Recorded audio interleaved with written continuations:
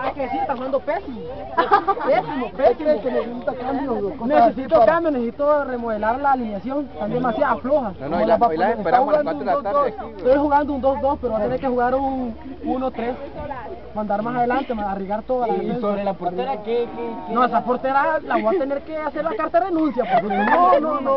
Pero a mí me comentaron que han despedido a, a María, María Rodríguez. Sí, pero como estábamos falta de gente, tuvimos que volverla a recontratar. Y- y pero a nosotros nos comentaron que fue por una cantidad demasiada fuerte. demasiada. Sí, que le hicieron una carta de renuncia. Sí, el señor Adonis Hilario. Sí, el señor Adonis Hilario. Gerente del equipo. Pero ¿por qué este Es del billete, a la jugadora? Porque no, es que se portaba muy mal, no quería salir, no quería darle oportunidades a la gente. Pero le renovaron el contrato. Le renovó el contrato, pero ya se, con una buena lección, ahora sí ya está entendiendo. Está entendiendo. Ya, ya, está bien. Bueno, y sobre este...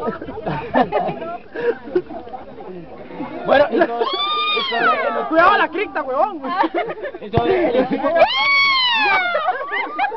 ¿Qué le parece el fútbol que tiene el equipo contrario. el equipo contrario? Con Está, Mavi. está aportando más que el equipo de nosotros. Y principalmente la portera, la Así, la cripta está haciendo un papelazo.